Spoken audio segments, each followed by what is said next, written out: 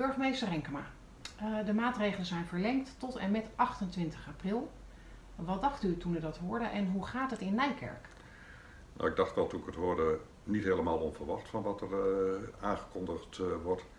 Maar tegelijkertijd realiseer je ook wel dat het nog een hele lange periode is waarbij de maatregelen gelden. En dat is toch wel zwaar, is dat. we hebben de afgelopen tijd gezien dat mensen zich goed aan die maatregelen uh, proberen uh, te houden. Ik merk het op straat, merk ik het dat mensen uh, zo goed mogelijk proberen niet met meer dan drie mensen te, rond, rond, te lopen, niet, niet rond te hangen op een aantal plekken.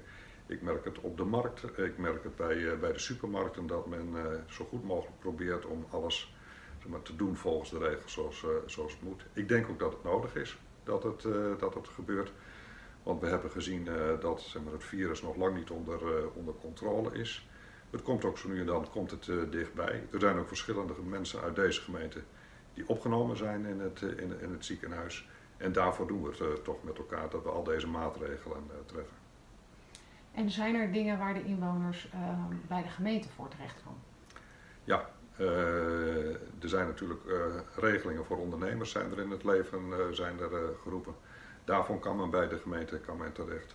Voor allerlei andere zaken is het toch wel van belang dat je ook even kijkt naar eh, de gemeentelijke website. Daar staat echt een heleboel eh, informatie eh, staat daarop. En ik zie dat ook in de samenleving een heleboel initiatieven ontplooid zijn om zo goed mogelijk de mensen te ondersteunen, te helpen. Daar zitten hele noodzakelijke initiatieven bij, want er zijn best wat mensen die natuurlijk thuis zitten, die zich zitten af te vragen hoe gaat het met mijn thuiszorg, hoe gaat het met mijn dagbesteding, gaat het. Dat soort zaken, daar proberen we als gemeente ook een wat coördinerende rol in te vervullen. Heeft u het gevoel dat we het samen doen in Nijkerk? Ja, dat gevoel uh, heb ik, uh, heb ik heel, uh, heel erg. Ik heb de afgelopen tijd gezien dat er een heleboel mooie initiatieven tot stand zijn, zijn gekomen. Straatcoördinatoren bijvoorbeeld. Er zijn mensen die concerten hebben, hebben gegeven. Er worden mondkapjes worden er gemaakt. Er worden kaarten worden er bezorgd. Nou, we hebben echt het idee gekregen van, dat men naar elkaar omkijkt hier in, in Nijkerk. Wat wilt u nog zeggen tegen de inwoners? Nou, het is lang, die periode tot, tot 28 april. Wat ook werd aangegeven, dan zijn we er echt nog niet van af op, dat, op dat moment. Een aantal maatregelen gaat ook langer, langer door.